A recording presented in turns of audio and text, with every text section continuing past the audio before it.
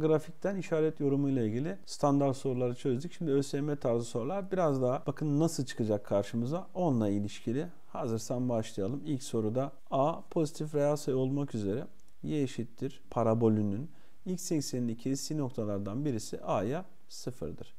Şimdi bir parabol bir noktadan geçiyorsa bu x eksenini kesiştiği nokta da olabilir. A'ya sıfır olarak verilmişse x gördüğümüz üzere A yazıp y'yi sıfıra eşitleyeceğiz. Buna göre diğer nokta nedir diyor. Önce bir a'yı bulalım. O zaman fonksiyonda bu ifadede y yerine 0 koyuyorum. 0 eşittir. x gördüğümüz yere de a yazıyoruz. a kare artı a çarpı a eksi 4. Şimdi düzenleyecek olursak burayı 4a kare şurası a kare yaptı. Eksi 4 eşittir 0. Yani 4a kare 4. Her tarafı 4'e bölersem a kare 1 yaptı. Şimdi karesi 1 olan iki tane sayı var. Ya 1'dir ya da eksi 1'dir. Şimdi burada bir çelişki var. Neydi? A pozitif olmalıydı. O zaman A'yı artı 1 alacağız. Eksi 1 olmayacak. Peki A 1 ise düzenleyip yerine koyduğumuz zaman bizim parabolümüz aslında 3x kare artı x eksi 4 biçimindedir. Şimdi A 1'di. Şimdi bizim bu ifadenin x eksenini kestiği diğer noktayı sorduğu için x eksenini kestiği noktada y'si sıfırdır. Yani bunu sıfıra eşitleyeceğiz. 3x kare artı x eksi 4 eşittir 0. Buraya eşit 0 yapma sebebim bu parabolün y eksenini kestiği diğer noktayı bulun diyor. Hemen çarpanlarını ayıralım. Bakın burası 3x x. Burayı 4 çarpı 1 yapsam çarptığım zaman eksi olmalı. Bir tanesini eksi seçeceğim. Burayı eksi burayı artı seçip çapraz çarpıp düzenleme yaparsam bakın 4x eksi 3x'ten bakın x'i verdi. Hı, ortayı verdi. O zaman bu ifadeyi şöyle yazabilirim. 3x artı 4 çarpı x eksi 1 sıfıra eşittir. Böyle durumlarda ne yapıyorduk? İkinci dereceden denklem çözerken ya bu sıfır ya bu sıfır. Bunu sıfıra eşitlersem x 3x artı 4 sıfırsa 3x eksi 4 x buradan eksi 4 dikkatlice işlem yapıyoruz. Bunu sıfıra eşitlersem x eşittir 1. Zaten biz bunu bulmuştuk da biraz önce. Onun diğer nokta bu. Yani eksi 4 bölü 3'e 0. Bu parabolün x eksenini kestiği diğer noktadır. Doğru cevap D şıkkıdır diyeceğiz. Bir sonraki soru. Parabolün x ekseninde teğet olabilmesi. Bir parabolün x eksenine teğet olabilmesi için çift katlı kökünün olması lazım. Yani bu ifadenin deltası hangi ifade? A'sı bu. B'si burası, C'si burası olan ifadenin deltasının sıfıra eşit olması lazım.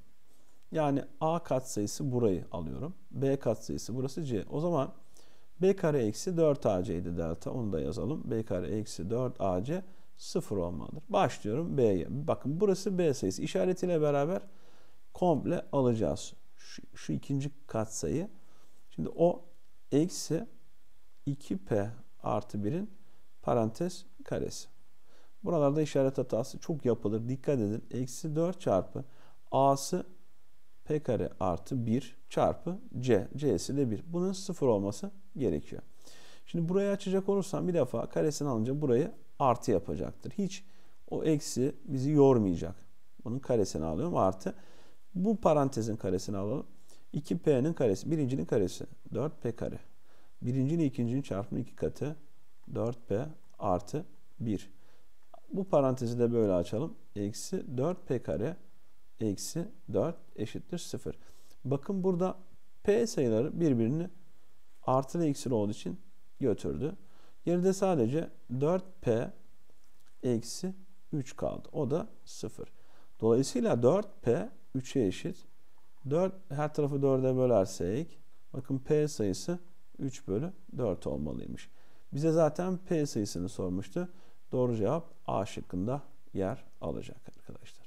Daha önce ikinci dereceden denklem yorumları da ortaya çıkıyor yavaş yavaş. Bakın parabolün tepe noktası y ekseni üzerindeyse. Şimdi bir parabolün tepe noktası ne zaman y ekseni üzerindedir? Onu hemen şöyle bir grafikle açıklayalım. Hiç ezberlemeye gerek yok. Y ekseni, işte rastgele şöyle aldım. Tamam mı? Burası. Bakın y ekseni üzerindeki bir noktanın x'i sıfırdır. Yani sıfıra k biçiminde olmalıdır. Dolayısıyla R'si sıfırdır diyeceğiz. R'si sıfırsa R'yi yazarken de bir parabolde ax kare artı bx artı c parabolünde hatırlatma yapıyorum. R'si sıfırsa eksi b bölü 2a'sı sıfır olacak. Yazalım. Eksi b bölü 2a sıfır. İşler dışlar. Bakın b buradan sıfır olmak zorundadır. Şimdi bizim parabolümüzün a'sı bura. b'si bura. c'si bura. Buranın sıfır olması için elime bakın şöyle göstereyim. Buranın sıfır olması için a, b, c p eksi 2 sayısı sıfır olmalı. Yani p buradan 2 olmalıdır. Bize neyi sormuş bakalım? F4'ü sormuş. Şimdi biz P'yi 2 bulmuştuk. Fonksiyonu yeniden bir tasarlayalım. P gördüğüm yere 2 atıyorum. Burası zaten 0 oluyor gidiyor. Bakın 3 x kare eksi 6 benim parabolümün denklemi. Bize f4 değerini sormuş. O zaman verilen parabolde x gördüğümüz yere 4 yazacağız. f4 o zaman 3 çarpı 4'ün karesi eksi 6. Yani 3 çarpı 4'ün karesi 16 eksi 6. 3 kere 16 48 eksi 6 cevabı 42 yapacak. Doğru cevap D şıkkı olacaktır. Yorumlara dikkat edelim. Peki 8. soru. Bakın parabolü şöyle vermiş. Burada P artı 1 bilmediğimiz bir şey. X kare bunlar değişkenler. X eksenini farklı iki noktada kestiğine göre. Şimdi bir parabol X eksenini nasıl farklı iki noktada keser? Şöyle gözümle canlandırıyorum. Böyle olabilir. Böyle olabilir. İşte şöyle olabilir. Yani nasıl iki noktada keseri böyle canlandırmaya çalıştım. Bu durumda iki tane kökü oluyor bakın. Bu denklemin x eksenini kestiği yerde sıfıra eşittir. Yani y yerine sıfır yazarsınız. p artı 1 x kare eksi 2x eksi 6 sıfır olmalı. Elde edilen ikinci dereceden denklemin de iki tane kökü olmalı. 2 kök olmalı. X eksenini kestiği noktalar kökleri sıfırlıklarıdır. Yani bunun iki kökünün olabilmesi için deltasının sıfırdan büyük olması gerekir. Bir de şu var. X karenin katsayısı olunca şuna dikkat edin. E, ikinci dereceden denklem olması lazım. Yani şu baş katsayının sıfırdan farklı olması lazım. Onu da bir kenara yazalım. P artı 1 de sıfırdan farklı olmalı. Dolayısıyla P eksi 1'den farklı bir şey olmalı. Bu önemlidir. Çünkü bunu unutursanız bazen soru kaybolabilir. Gider elimizden. Şimdi deltasına bakalım. Bakın A katsayısı bu. B katsayısı C katsayısı. B kare yani bu denklem için eksi 2'nin karesi. Eksi 4. A'sı bakın P artı 1.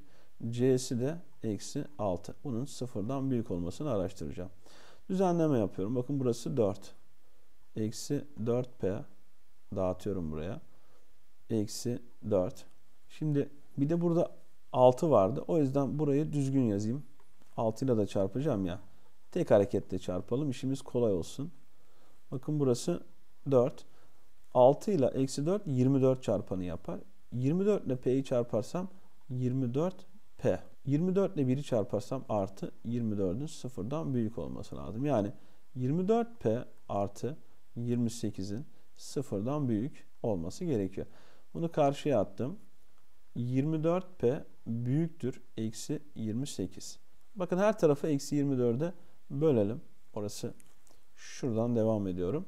24'e bölersem p sayısı eksi 28 bölü 24. Şimdi sadeleştireceğim. Burayı 4'e bölersem eksi 7 bölü 6 oldu. P sayısı eksi 7 bölü 6'dan büyük olacak. Bakın bir de şurada P eksi 1'den farklı olacaktı. P hangi aralıkta değer alır diyor. Seçeneklere gidecek olursam eksi 7 bölü 6'dan sonsuza aralığından eksi 1 bu aralığa düştüğü için bunu çıkaracağım. Dolayısıyla D şıkkı doğru olacaktır. İsterseniz bunu sayı doğrusunda da gösterip yapabiliriz. Sayı doğrusu. Bazen bu sorularda kafa karışabilir. 0. Eksi 7 bölü 6 şurada. Negatif sayı. Eksi 1 de burada. Biliyorsunuz bu daha büyük. Şimdi bizim çözüm kümesi burası. Bu aralıkta olmalı. P'nin değerleri. Ama eksi 1 bu aralığa düştüğü için eksi 1'i sayı doğrusunda buradan atacağız. O yüzden bunu çıkardım. Doğru cevaba D dedim. İşaret yorumlarında şimdi standart sorular, ÖSYM tarzı sorular bitti. Konu pekiştirmeye geçebiliriz arkadaşlar hazırsanız. Hadi bakayım enerji yüklenmemiz lazım.